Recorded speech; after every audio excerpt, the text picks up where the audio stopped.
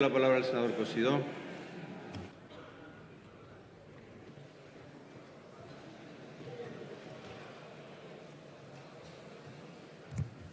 Muchas gracias, presidente. Quiero que mis primeras palabras sean para unirnos al homenaje a Laura Oluelmo y expresar pues, toda nuestra condolencia y solidaridad con su familia, con sus amigos y nuestro homenaje también a las casi mil mujeres que desde el año 2003 han sido asesinadas por la violencia de género. Quiero reafirmar el compromiso de mi grupo parlamentario, de todos los grupos de la Cámara, para seguir trabajando en ese pacto de Estado que permita que algún día podamos hacer realidad el fin de la violencia. Señor Sánchez, la mejor respuesta a sus seis meses de desgobierno se la han dado muy recientemente los ciudadanos de Andalucía haciendo que su partido pierda la mayoría de gobierno después de 40 años de régimen socialista en Andalucía. Y esa misma respuesta eh, se la van a dar el conjunto de los españoles ya directamente a usted en cuanto usted cumpla el compromiso que adquirió en la moción de censura de convocar a la mayor brevedad unas elecciones generales que hoy se resiste a convocar. Usted ha planteado que su moción de censura tenía dos objetivos básicos. Bueno, usted llegó a la presidencia del Gobierno, señor Sánchez, en las peores condiciones posibles. Lo hizo con el peor resultado en la historia del Partido Socialista, lo hizo apoyado por todos los grupos más radicales de la Cámara y aquellos que literalmente quieren romper España, y lo hizo además sin más programa político una ambición personal de ser presidente del Gobierno a toda costa. Y eso también ha quedado hoy aquí reflejado. Usted, señor Sánchez, llega tarde y mal a esta comparecencia. Llega tarde porque la solicitamos hace cinco meses y usted ha resistido todo cuanto ha podido antes de venir a esta Cámara. Y llega mal porque le pedimos una comparecencia para hablar sobre la crisis migratoria Usted la transformó en una comparecencia para hablar de la gestión de su gobierno y finalmente lo que hemos escuchado aquí es un mitin electoral del Partido Socialista sin dar ninguna explicación sobre las acciones del gobierno. Mire, los españoles ya saben bien que a usted el Senado le molesta. Y yo creo que no le molesta porque tenga una mayoría aquí el Partido Popular, porque, mire, también la tiene en el Congreso de los Diputados. Yo creo que le molesta porque aquí, en esta Cámara, sus socios, aunque ahora parece que usted lo pone en cuestión, parlamentarios, no tienen la posibilidad de salvarle en sus votaciones o en sus iniciativas. Y por eso el Senado, que es una Cámara en la que existe una coincidencia generalizada, usted lo defendía hasta hace muy pocas fechas, de la necesidad de potenciar esta Cámara, Ahora lo que usted intenta es justo lo contrario. Lo que intenta es quitarle competencias que esta Cámara tenía, como estamos viendo en el debate del techo de gasto. Y déjeme, señor Sánchez, muy brevemente que le recuerde que el Senado representa la soberanía nacional, como el Congreso, que el Senado tiene plenas funciones en el control al Gobierno, como el Congreso, y que el Senado es la única Cámara parlamentaria de España en el que una buena parte de los miembros son elegidos a través de listas abiertas y desbloqueadas, lo cual le da, si me permite, una especial legitimidad a los senadores. Mire, en estos seis meses usted ha fracasado en todo cuanto ha intentado. Usted argumentaba su proyecto político en tres ejes. Primero nos hablaba de regeneración. Mire, con un gobierno en el que le han dimitido dos ministros por distintos casos de irregularidades, que tiene una ministra de Justicia tres veces reprobada por el Parlamento, que tiene tres ministros en estos momentos en los que también se han detectado graves irregularidades fiscales o en la declaración de su patrimonio, creo que usted es la persona menos indicada para hablar de transparencia y para hablar de regeneración. Y en segundo lugar, señor presidente, nos hablaba usted de impulso. Bueno, miren, un gobierno que a fecha de hoy todavía no ha sido capaz de presentar un presupuesto y sobre el que existen dudas razonables de que lo pueda sacar y que el propio presidente del Gobierno dice que está dispuesto a seguir gobernando con un presupuesto del Partido Popular al que sistemáticamente acusa antisocial, es un Gobierno que no se caracteriza, creo yo, precisamente por su impulso político.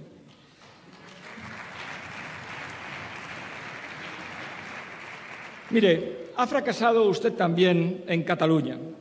Su política de apaciguamiento solo ha servido para dar rienda suelta a los más radicales y hacerles creer que España depende de ellos. Y no, señor Sánchez, los únicos que dependen son ellos de sus promesas y compromisos personales hasta que usted deje ser presidente del Gobierno. Mire, ese fracaso lo reconocen hasta miembros de su propio Gobierno. Ahí está la teoría del ibuprofeno. Y una mayoría de los dirigentes de su propio partido. Y quiero recordarle que tiene usted un triple mandato de esta Cámara. En primer lugar, un mandato para que aplique ya el artículo 155 de la Constitución, requiera con urgencia el acatamiento de la Constitución a la Generalitat de Cataluña y suspenda su autonomía.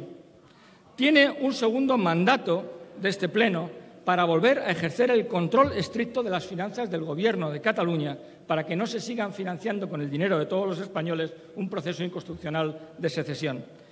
Y en este mismo Pleno vamos a debatir también una moción de mi grupo parlamentario para que se adopte el control de los Mossos de Escuadre ante el grave riesgo para la seguridad que se vive en Cataluña y que el señor Torra no siga siendo el jefe de los Mossos de Escuadra.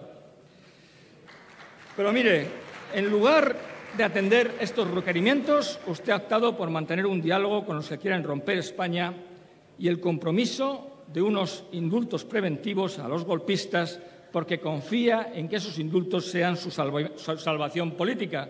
Mire, se lo digo una vez más, señor presidente del Gobierno, desmienta a la delegada del Gobierno en, Cataluña, desmienta al señor Iceta y desmienta a aquellos miembros del Gobierno que han abogado abiertamente por esos indultos sin que usted hasta ahora les haya desmentido, porque si no lo hace significa que usted lo comparte. Mire, podría hablarle, tengo muy poco tiempo, más de la situación en Cataluña, podría hablarle de cómo las políticas económicas que usted ha practicado están limitando en buena medida el crecimiento económico. Tenemos ya una, previsión a la baja de crecimiento del PIB para este año y una aún más a la baja para el próximo año. Usted, en su mitin electoral, ha expuesto una política económica que, en nuestra opinión, es justo la contraria de la que quería aplicarse en estos momentos, la política de Zapatero, la política que, ante los primeros signos de desaceleración económica, lo que hace es más gasto público, más déficit público, más deuda pública y eliminar aquellas reformas que, como la propia Comisión Europea, que como todos los organismos internacionales le están diciendo que con las reformas, algunas de las que usted ha propuesto aquí esta mañana, lo único que va a conseguir es la destrucción de empleo. Pero déjame, señor presidente del Gobierno, que pase directamente al ámbito de la inmigración, que era el objeto inicial de nuestra comparecencia. Mire, usted, en la búsqueda de oportunidad política, se estrenó como presidente lanzando el mensaje equivocado en el momento más inoportuno en relación con la inmigración. La inmigración y, en particular, la lucha contra la inmigración irregular, lo sabe usted bien, es uno de los ejes centrales de la política no solamente en España, sino en toda Europa. Y para que este debate esta mañana pueda ser útil y no sea un estéril cruce de reproches en materia de política migratoria, quiero decirle tres cosas o marcarle tres líneas de debate.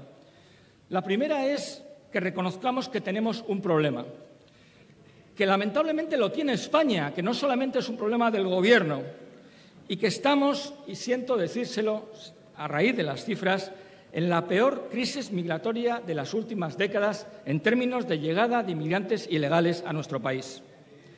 El segundo punto es que requiere una rectificación urgente de su política migratoria, que hasta la fecha se ha caracterizado por su indefinición, por su inconsistencia y por su ineficacia. Y el tercero es que estamos, señor presidente, ante una auténtica cuestión de Estado y que, por tanto, la voluntad de mi grupo sería poder llegar a un acuerdo no solo con el Gobierno, sino con el resto de las fuerzas políticas sobre esta cuestión. Creo que el asunto lo merece y, por su trascendencia para el futuro de España y de Europa, lo exige. Ya le anuncio que mi grupo parlamentario debatirá también en este Pleno la creación de una comisión especial de inmigración que creo que puede ser el marco adecuado para poder construir ese consenso que necesitamos en materia migratoria. Y si este debate sirve para adelantar algunos de los principios sobre los que se puede sustentar ese acuerdo, creo realmente que habrá sido un debate útil. Mire, lo primero es reconocer que tenemos un problema. Mire, según los datos de Frontex, la Agencia Europea de Fronteras, en España han llegado en 2018, vía Mediterráneo, Ceuta y Melilla, cerca de 65.000 inmigrantes irregulares. Se ha reabierto a la vez la ruta atlántica, la ruta a Canarias, que llevaba cerrada prácticamente una década, con un incremento este año del 213%. Y estas cifras, señor presidente del Gobierno, son récord absoluto de la llegada de inmigración irregular a nuestro país, por encima de las que ya tuvimos en la anterior crisis de los cayucos, allá por el año 2006, nuevamente con un gobierno socialista. Mire, en solo seis meses usted ha convertido a España en la principal puerta de entrada de la inmigración irregular en Europa. Uno de cada dos inmigrantes que llegan a suelo europeo hoy lo hacen a través de nuestro territorio, lo hacen a través de España. Y mire, mientras las llegadas en el Mediterráneo central se han reducido en un 80% y se han reducido más del 40% en el conjunto de la Unión Europea, la inmigración irregular en España ha aumentado con este Gobierno un 133%. Hemos pasado, señor presidente, de ser un modelo y una referencia para toda Europa en el control de la inmigración irregular a ser la principal vía de entrada de esa inmigración ilegal en el continente. Y mire usted, señor Sánchez, ¿cómo me lo explica? ¿Cambio climático? Mire usted, si disminuye en Europa un 40% y aumenta en España un 133%, es que algo debe estar usted haciendo mal. Mire, en el primer semestre de este año, de 2018, el conjunto de llegadas de inmigración irregular con un gobierno del Partido Popular fue de 17.000. En los seis meses en los que usted lleva como presidente del Gobierno fue de 45.000. Señor presidente, si se mira al espejo, va a encontrar perfectamente la razón por la que estamos en un aumento absolutamente desproporcionado del número de inmigrantes ilegales que llegan a nuestro país. Esta llegada constante de menores, que también ha aumentado de manera exponencial, mire usted, 4.760 menores no acompañados registrados en diciembre del año 2017, más de 11.000 a 30 de septiembre de este año, ha saturado toda nuestra capacidad de acogida de los centros, de los profesionales. Reconocer, por tanto, señor presidente, que tenemos un problema me parece que es el primer paso para empezar a solucionarlo. Y, en segundo lugar, señor presidente, una rectificación. Mire, su primer error se llama acuarios. El mensaje que usted trasladó a las mafias que, que trafican con seres humanos ha provocado un claro efecto llamada, como he visto en estas cifras que le he expuesto, a la vista que usted mismo ha intentado corregir cuando este mismo barco llegó por segunda vez a nuestras costas, no dando ya estatus especial a los inmigrantes que venían en él y reduciendo el número de los inmigrantes que asumía España. Usted ha cambiado también el criterio con las devoluciones en caliente. Primero propusieron su derogación, y ahora no sabemos dónde están, porque ustedes defienden en el Tribunal de Estrasburgo estas eh, devoluciones y, sin embargo, mantienen un recurso en el Tribunal Constitucional sobre las mismas. Una posición en Estrasburgo, una posición en Madrid. El ministro del Interior ha anunciado también reiteradamente que va a retirar las concertinas de la valla en Ceuta y Melilla. Mire, nuevo error. Es el mensaje equivocado, un falso buenismo alentar a las mafias que controlan la inmigración irregular y poner en riesgo a policías y guardias civiles, sobre todo cuando el ministro de Interior lo anuncia sin explicar cuáles son las medidas alternativas que quiere hacer. El objetivo es mejorar la seguridad de nuestras fronteras, señor presidente, porque no solamente está en juego la inmigración irregular, está en juego también la posibilidad de, de nuestra seguridad. Mire, desbordamiento de nuestra frontera también por la frontera Schengen, con más de 9.000 inmigrantes irregulares devueltos por Francia a nuestro país, en ocasiones sin cumplir siquiera los requerimientos que establecen los protocolos establecidos. Señor presidente, con su benevolencia, telegráficamente les pongo cuáles son los principios que deben servir para construir ese pacto sobre la inmigración. En primer lugar, señor presidente, le apoyaremos para mejorar la seguridad en nuestras fronteras, porque creemos que ese es un elemento esencial para el control de la inmigración irregular y para nuestra propia seguridad. En segundo lugar, le apoyaremos para lograr una mayor implicación en la Unión Europea, sobre todo negociando un nuevo sistema de asilo que no perjudique, a los que somos frontera exterior de la Unión.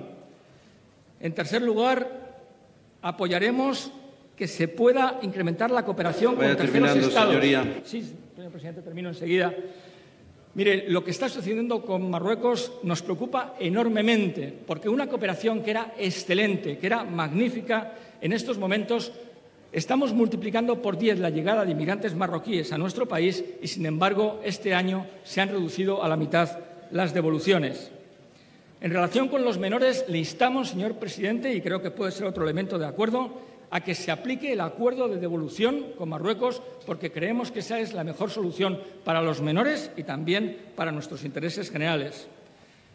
Le pedimos también una diferenciación del reconocimiento de los derechos sociales y laborales que tienen los inmigrantes irregulares de los que tienen los inmigrantes legales. Porque la clave, termino, presidente, es conseguir que los inmigrantes, eh, la inmigración sea una inmigración legal.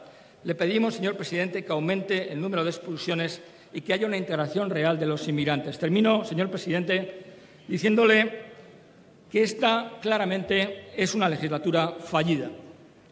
Hay un clamor en la opinión pública, incluso dentro de su propio partido, que le está pidiendo que convoque cuanto antes unas elecciones generales. Tiene que terminar, senador. Pero mientras siga en el poder, le pido al menos dos cosas. Primero, que cumpla con sus obligaciones constitucionales y garantice la igualdad y la libertad de todos los españoles. Y segundo, señor presidente, una rectificación de una política migratoria que está provocando una grave crisis en nuestro país. Para ambas cosas tendrá el apoyo del Grupo Popular. Muchas gracias.